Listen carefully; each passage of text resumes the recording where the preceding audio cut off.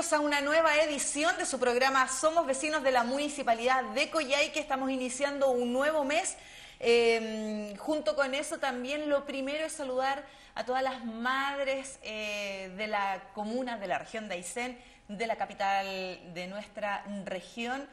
muy feliz día. Siempre las madres somos poderosas, valientes, aguerridas y podemos hacer muchas cosas, así que...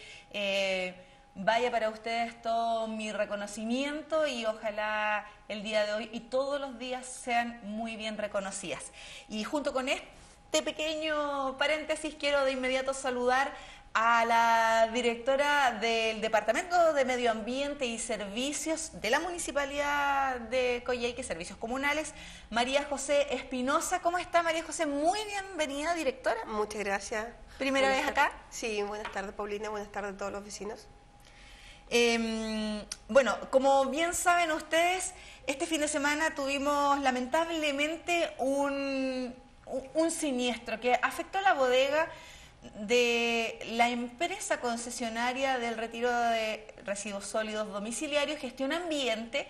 Eh, esto fue el viernes en la noche y em, se sintieron estruendos, directora, fue como complejo, porque la verdad es que eh, algunos pensaban que había ocurrido eh, un incendio en alguna instalación de gas, porque sonaba como explosión, sin embargo, prontamente nos dimos cuenta que eh, el, el incendio estaba abocado en este punto, la bodega en donde se guardan los camiones que hacen este retiro de residuos sólidos domiciliarios. Complejo. Sí, fue. Eh, de hecho muy lamentable.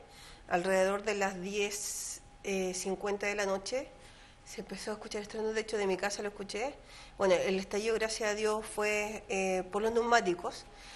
alcanzaron a sacar los balones de gas que habían en el lugar, si no hubiese he sido mayor. Eh, gracias a Dios también hubo eh, solamente daño material, eh, no hubo daño a, personas. bueno, y fue muy impactante. se vieron muchos movimientos de carabineros, bomberos, PDI, de varias instituciones, ONEMI, y que dieron calma a esto y obviamente con los bomberos que ellos eh, apagaron el siniestro y los vecinos también que ayudaron a las personas a sacar sus eh, de la casa eh, y, y, poder contener esa parte. Perfecto. Tardó mucho, me imagino, el personal de, bomberos, porque tengo entendido que concurrieron todas, todas las unidades a poder apagar este incendio. Eh, emergencia que se prolongó, digamos, por un, por un buen rato en la capital regional. A esa hora no llovía, pero la temperatura estaba bien bajita y podemos ver en imágenes un poco... no tenemos la, el siniestro en sí, las imágenes debido a que esa hora ya estábamos en horario de toque de queda, así que no, no pudimos captar ese, ese momento, pero al otro día, sábado, ahí como podemos ver en las imágenes rápidamente, estuvimos en el, en el lugar María José y ahí se ven un poco las consecuencias. Posteriormente, como vemos acá en imágenes, rápidamente el, el municipio dijo ya, eh, ¿qué hacemos? No podemos, no podemos llorar mucho, sino que tenemos que actuar, porque eh, el retiro de basura es un servicio esencial y no puede detenerse. Por más de que algunas personas pensaron que esto se iba a detener y que nosotros lo comunicamos vía redes sociales, que el servicio no iba a funcionar de la manera normal, habitual, como estábamos acostumbrados, pero no íbamos a dejar de hacerlo. Ahí lo vemos en imágenes. Sí.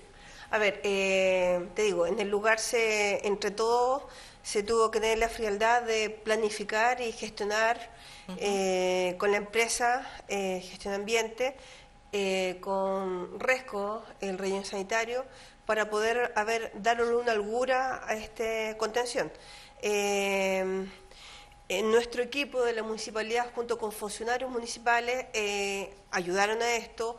Ah, hubieron dos camiones Ampli Road donde llevaban tolvas a lugares críticos y a su vez hacía la recolección con personal de gestión ambiente para hacer eh, desocupar un poco los contenedores y llevar esta basura al relleno. También se incorporó una tolva en el relleno para ver si la población podía llevar esta basura, eh, si no es que no tenía recolección trasera, poder llevarla al relleno. Y se, hicieron varias eh, estrategias para poder esto estar tratando de, trabajar lo más normal que se podía y que no hubiera un impacto como se pudo haber ocurrido de tener mucha basura en las calles hoy. Perfecto, bueno, ahí podemos ver en las imágenes, hicimos recorrido el sábado, hicimos recorrido domingo, hicimos recorrido hoy muy temprano pudimos percatarnos que eh, habían algunos sectores en donde definitivamente no había basura aquí. Hay que felicitar a los que tomaron mucha conciencia con esta con esta emergencia, agradecerles también ese nivel de empatía que fue muy necesario este fin de semana. Por ejemplo, en el sector céntrico, eh, eh, me comentaban los, colegas que estaban en, este operativo que en el sector de la población Corby, no había contenedores afuera de, las casas porque simplemente los vecinos decidieron no sacarla, a pesar de que les correspondía el retiro de, residuos hoy lunes, y no lo hicieron porque prefirieron guardar y, esperar a que esto esté un poco más... Eh, calmado o con, ya la otra maquinaria que va a estar en los próximos días y de lo cual vamos a hablar posteriormente.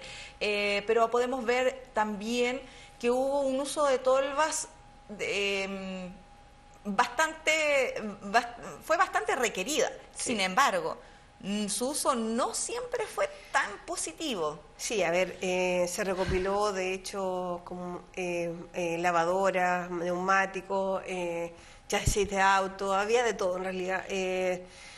La idea era que contuviera recolección de residuos domiciliarios, pero bueno, en realidad yo me quedo con lo positivo y no con lo negativo. Tenemos que pensar que una recolección normal del fin de semana es de, 7.000 kilos aproximadamente. 7 toneladas. Sí. Eh, y se ha recopilado la mitad, o sea, un 50% de las personas decidió no sacar su basura. Y eso está hablando bien de la ciudadanía. Eh, y agradecer esa empatía con, la recolección. Perfecto. Y esa cifra se refiere a, mm, a, a tolvas o a contenedores? O sea, a todo, a todo. O sea, eh, ayer contenizamos más o menos eh, 38 mil kilos de basura aproximadamente y lo, normal es 77. Perfecto. Por lo tanto, estamos hablando de que hubo un, impacto a nivel comunicación bastante bueno. El llamado eh, lo escuchó las, el 50% de las personas y eso está hablando bien. O sea, hubo un impacto positivo y que la gente dijo, sí, no voy a sacar mi basura y voy a esperar que esto se normalice.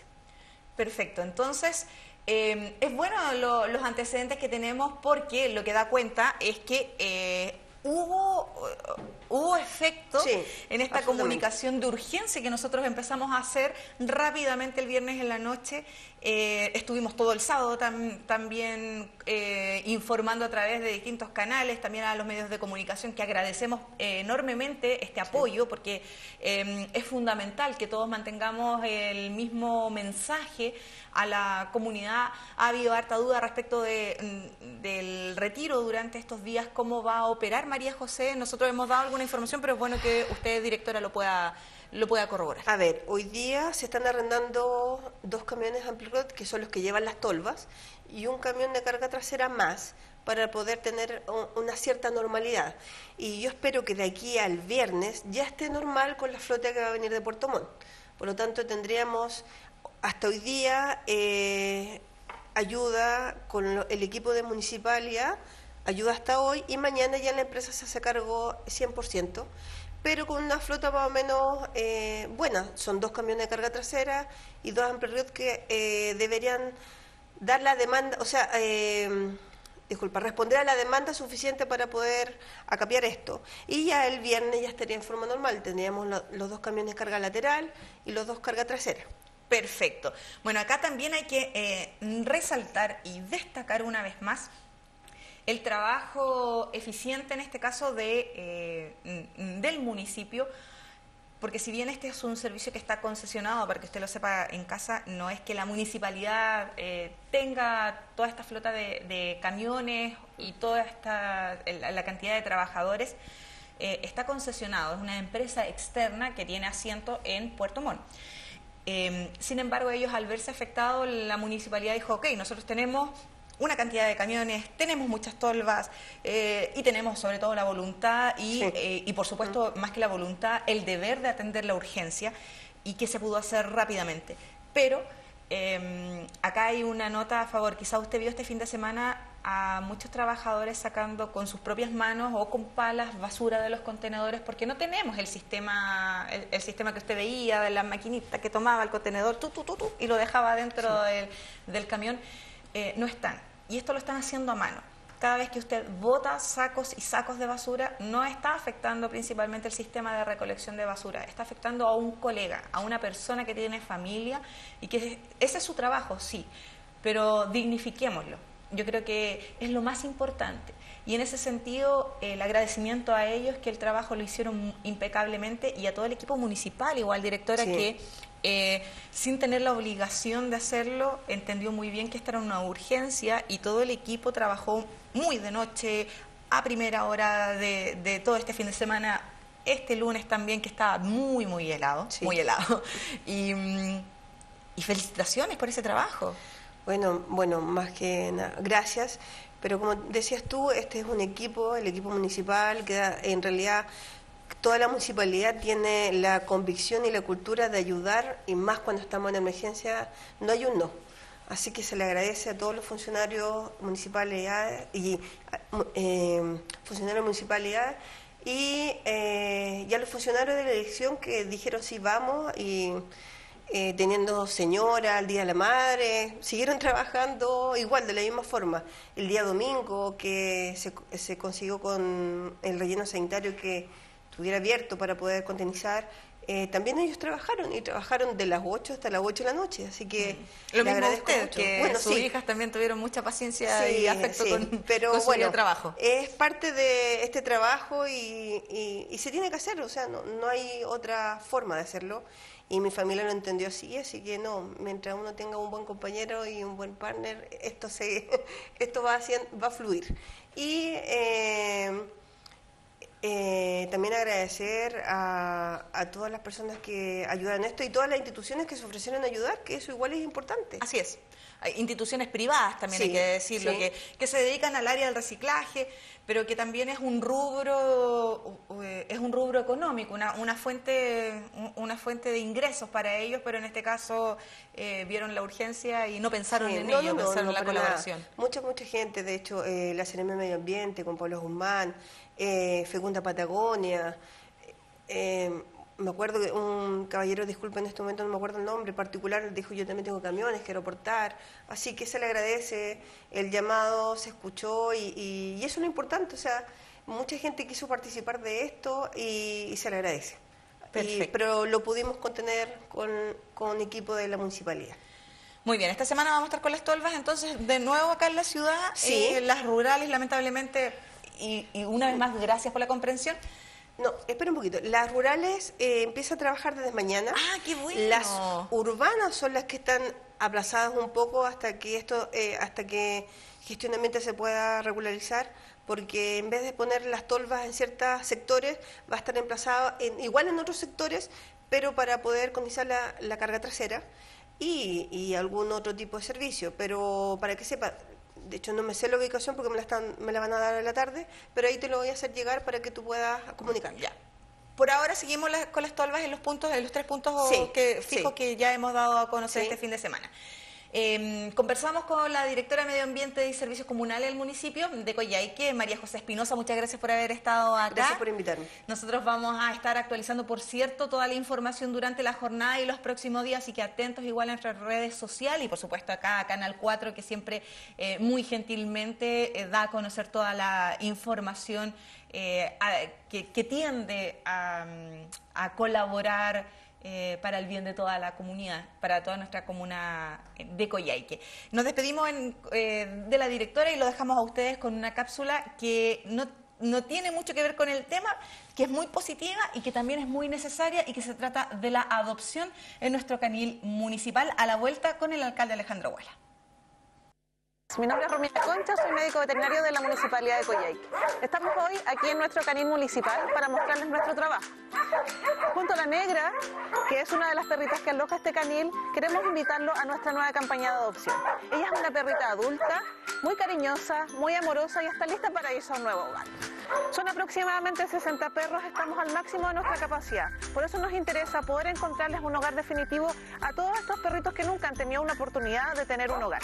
En general están todos en un muy buen estado de salud y también tienen asesoramiento etológico clínico a través de un especialista para ver el tema del comportamiento.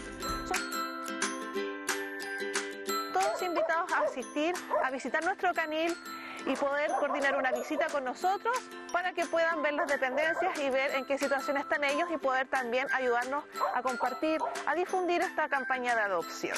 Un perro adoptado también significa un perro rescatado de la calle.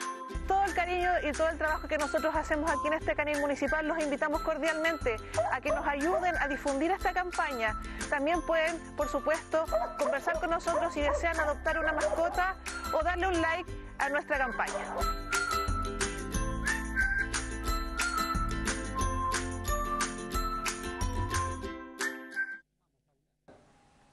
Bueno, ahí estábamos con nuestra colega encargada del programa Tenencia Responsable de Mascota, Romina Concha, en, este, em, en esta cruzada de adopción de, canes que están en nuestro canil municipal y que em, son perros adultos que requieren cariño, que ya tienen una personalidad bastante tranquila y avanzada y en la medida que vayamos adoptando también vamos generando un poquito más de espacio para nuevos perros que están em, abandonados en la ciudad de Coyhaique. Eh, con ese paréntesis regresamos ahora al tema con nuestro alcalde Alejandro Guala. ¿Cómo está alcalde? Muy bienvenido. Hola Paula, muy bien, muchas gracias. Un gusto saludar a todos los televidentes que nos ven habitualmente a través de las pantallas de Roco TV. Así es, bueno, alcalde, eh, lo conversábamos anteriormente con la directora de Medio Ambiente y Servicios Comunales, María José Espinosa, hablando de esta contingencia que definitivamente nos sorprendió eh, nada, de, nada de grato, por cierto, a, nadie en esta ciudad. Em, traspasó también las fronteras de la región de Aysén, nos llamaban también de Santiago, de otras zonas del país para saber cómo lo iba a hacer la municipalidad. De hecho, un medio regional tituló, bueno, ¿y ahora qué haremos sin ocho camiones para la recolección de residuos sólidos de acá de, de Coyhaique? Y em, yo creo que se sorprendieron todos, porque no se imaginaron que, que, nosotros como municipalidad eh, rápidamente íbamos a tener la solución, porque no había otra manera, alcalde, tengo entendido que era o solución o solución. Sí, bueno, primero lamentar esta este siniestro que fue con mucha suerte, y lo digo bien responsablemente porque eh, Bomberos hizo un tremendo trabajo. Por favor, ahí todo el reconocimiento a los voluntarios, voluntarios de bomberos. Todo el resto que llegamos, que participamos después, tenemos una remuneración. Ellos lo hacen de manera voluntaria. Y gracias a su eh, disposición, compromiso, se pudieron salvar las casas aledañas. Si bien se consumió, se consumió todo lo que estaba dentro, los ocho camiones, todas las dependencias, lo que ya todos sabemos, pero gracias a la acción de bomberos no se propagó el incendio hacia la casa que está pegada, literalmente pegada a esa infraestructura que estaba ahí siendo consumida por las llamas. Eh, gracias a bomberos, gracias a carabineros, gracias a todos quienes colaboraron en esta primera, eh, en este primer combate. En el inicio fue un vecino el que avisó, se comenzaron a mover los propios vecinos, a sacar las cosas de, una casa, a guardarla en otra. Hubo harta solidaridad, un impacto tremendo y un impacto básicamente porque todo el mundo pensaba en los trabajadores que ahí prestan servicios porque la primera idea que se le viene a la cabeza es, esta gente va a quedar sin trabajo. Bueno, déjenme decirles que no va a ser así. Nosotros no vamos a dejar a los trabajadores a la deriva y la empresa también ha manifestado exactamente lo mismo. Los trabajadores de, de, la empresa de gestión ambiente también han tenido un tremendo compromiso durante sábado, domingo, hoy día y el resto de la semana que queda, haciendo su trabajo como puedan y aquí necesitamos el respeto y la ayuda de la, de la ciudadanía.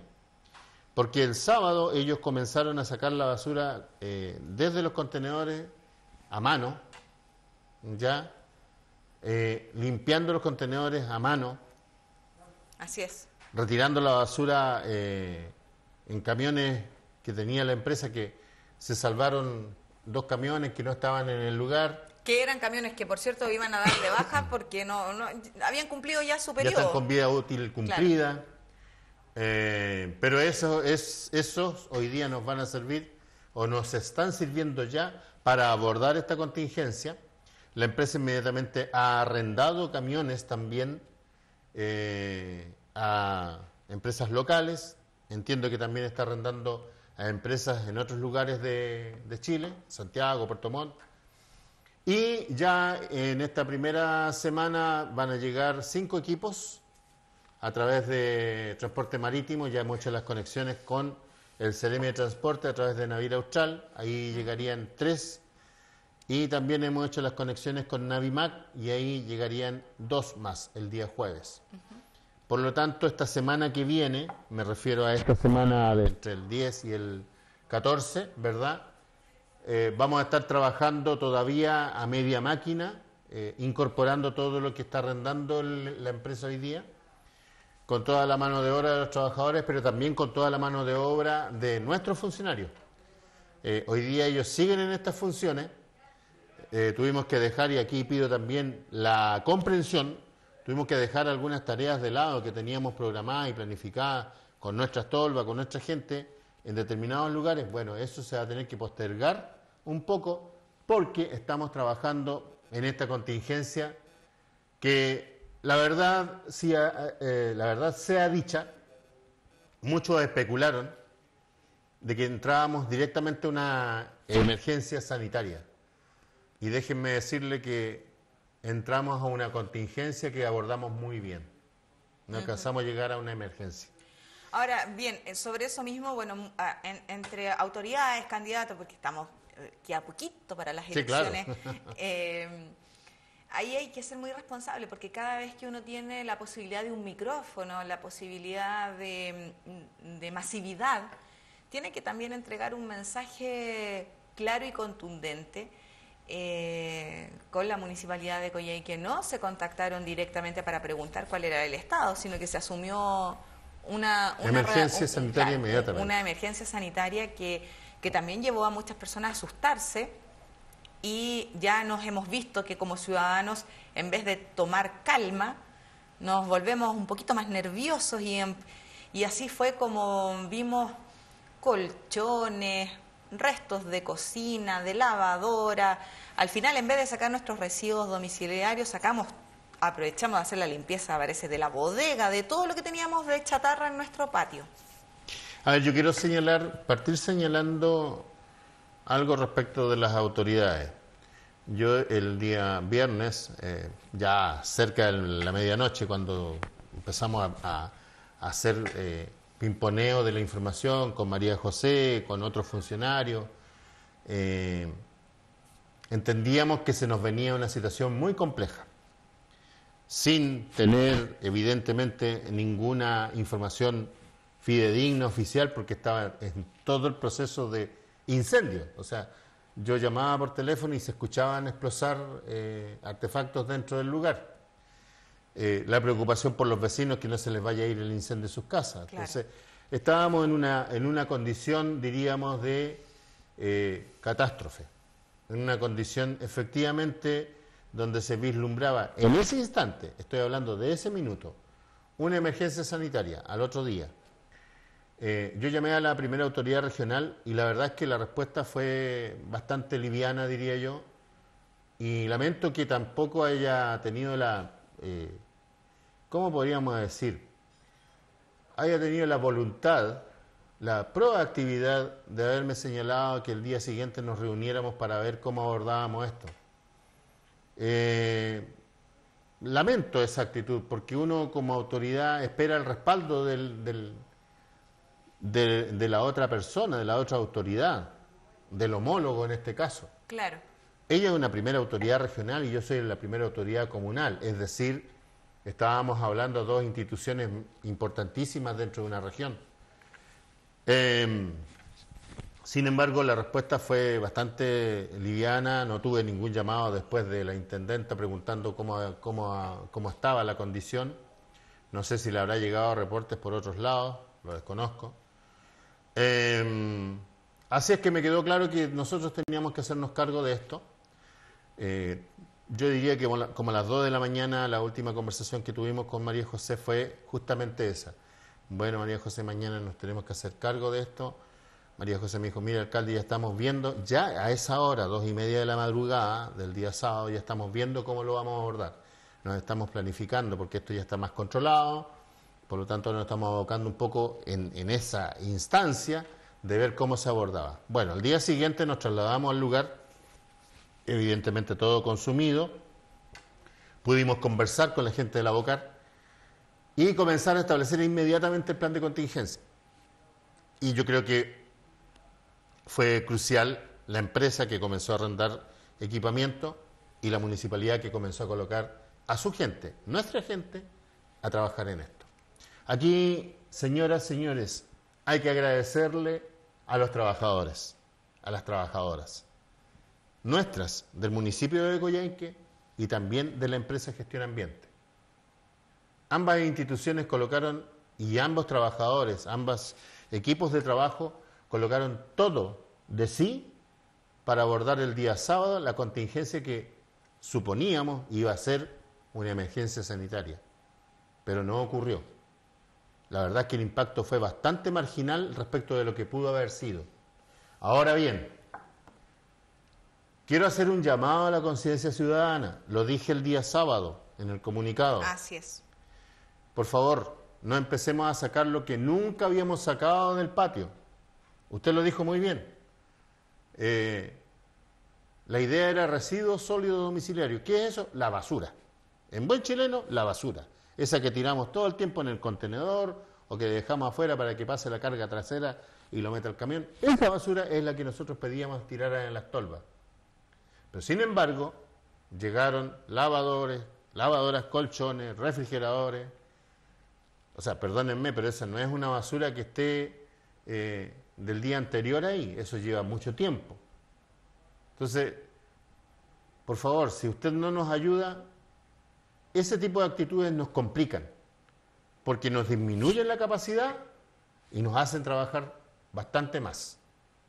Porque nuestra gente colocaba las tolvas y llegaba y se llenaba de refrigeradores, de lavadoras, de colchones, y lo poco de basura que llegaba había que sacarlo rápidamente, llevarlo al relleno sanitario, vaciar esa tolva, volver a colocarla para que llegue basura, residuo domiciliario. Ese es el llamado que le quiero hacer. Y yo aquí me voy a hacer muy responsable de lo que voy a decir, pero le hago un llamado especial a la gente que vive en mi población, en la población general marchán. Porque ahí se produjo una situación bastante eh, ¿cómo podríamos decir? Compleja, donde se llegaron a votar, Paula, usted me señalaba de todo. Lo vimos ahí en las imágenes igual recogidas, alcalde. De. Entonces quiero hacerle un llamado a mi gente, a mi población, que seamos más conscientes del tratamiento de la basura en estas condiciones. Por favor, en estas condiciones. Donde la gente, los trabajadores están metiendo las manos en los contenedores para sacar la basura. Eh, donde nuestros funcionarios están colocando y sacando las tolvas a cada rato y, tratando de ayudar al máximo para evitar un colapso.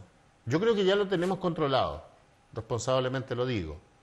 Ya comienzan a llegar los equipamientos, ya la empresa está arrendando, tenemos que conversar con la empresa las condiciones de trabajo de los propios trabajadores de su empresa, pero también quiero agradecer a la ciudadanía que nos colaboró, porque así como hay gente que llegó a tirar refrigeradores y colchones, hubieron otros que fueron y recogieron la tomaron su basura y la fueron a tirar al relleno en las tolvas que estaban dispuestas e hicieron un trabajo responsable eh, que fue colaborativo con la situación que estamos viviendo. Así es. Así que también agradecer a esa gente que tuvo la conciencia, la amabilidad y la disposición de hacer ese trabajo, porque con eso no sabe usted cuánto nos alivia a nosotros el abordar esta contingencia para la cual Eh, estábamos preparados, pero no diría yo que al 100%. Nunca, nunca nos imaginamos una pérdida total de todos los camiones, jamás.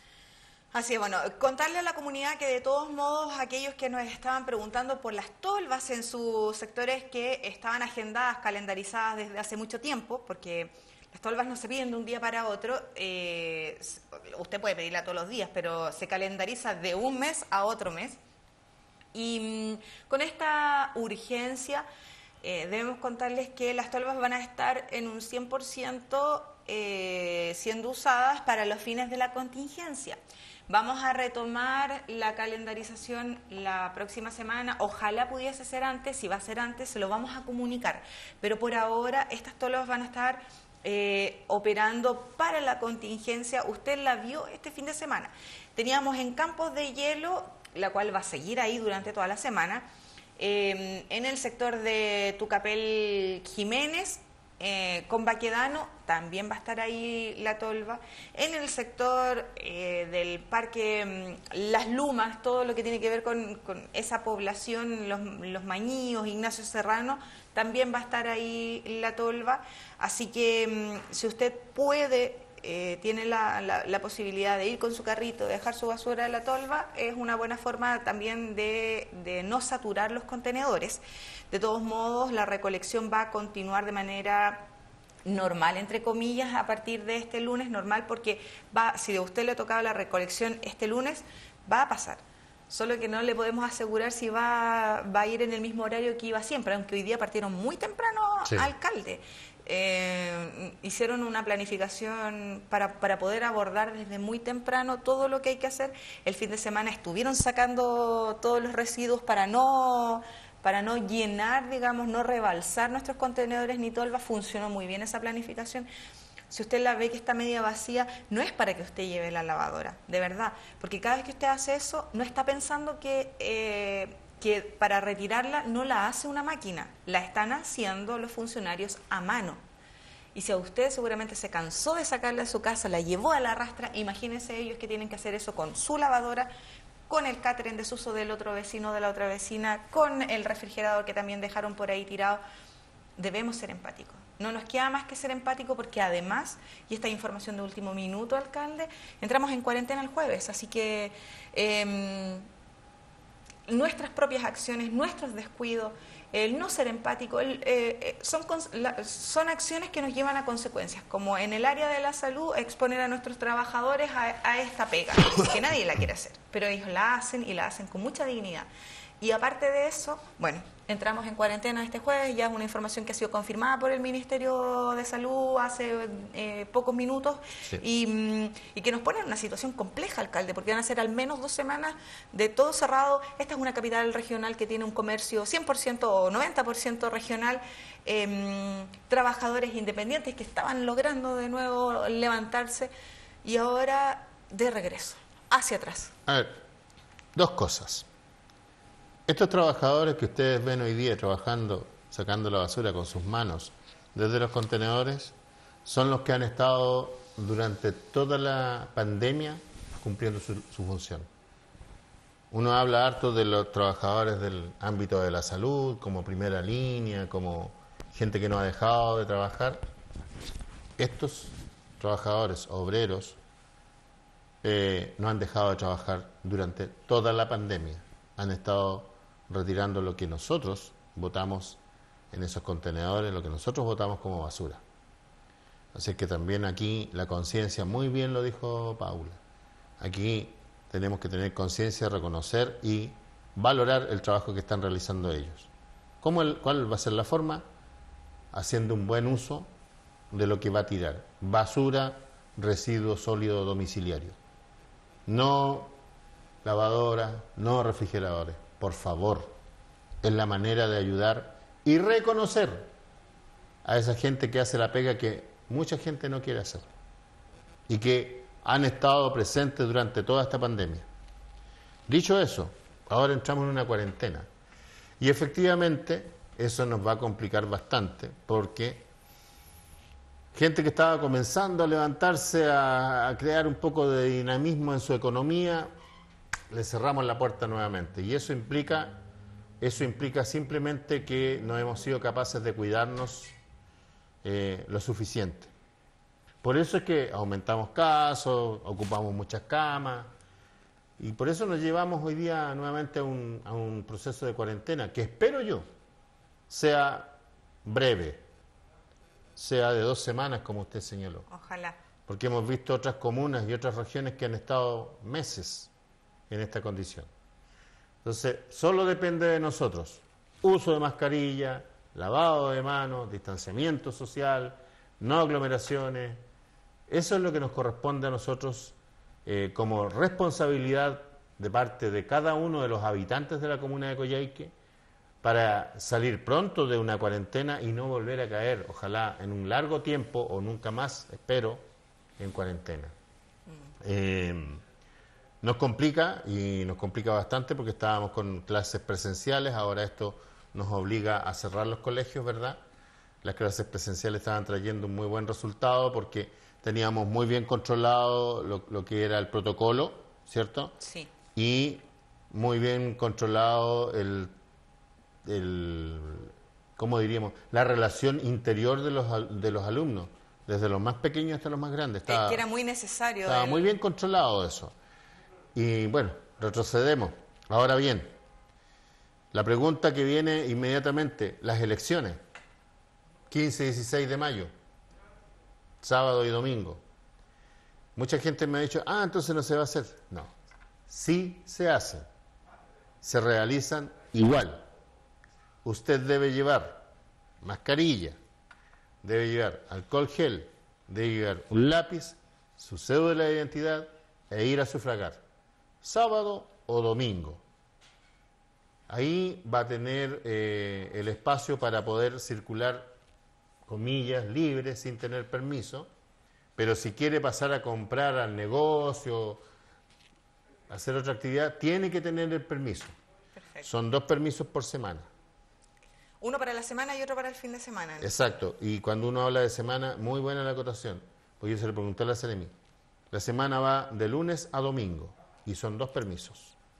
No nos confundamos que de lunes a viernes son dos permisos y el fin de semana tenemos uno.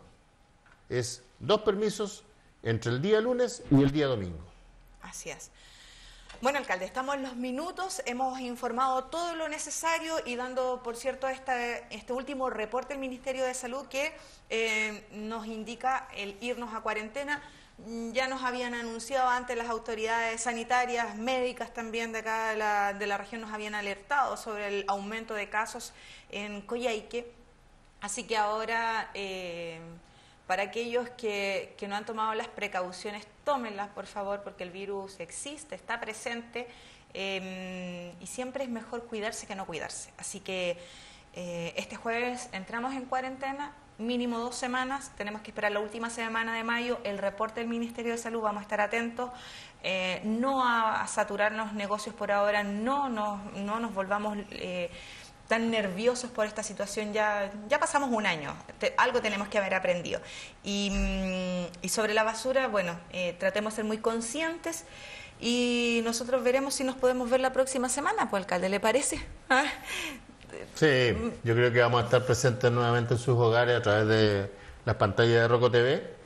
Eh, espero ya con una situación mucho más controlada, no me cabe la menor duda que va a ser así respecto a esta desgracia que ocurrió con la empresa de gestión ambiente eh, estamos con la mejor disposición, muy conectados, muy mucho diálogo durante el sábado, el domingo, el día de hoy, así es que eh, yo creo que vamos a salir bastante bien, yo creo que estamos saliendo bastante bien respecto de una situación tan grave como la que hemos vivido. Y lo otro es el llamado, evidentemente, a cuidarse y a no eh, generar una suerte de psicosis en las compras de mercaderías, porque las aglomeraciones son las que debemos ir evitando. Dicho eso, nos encontraremos entonces la próxima semana.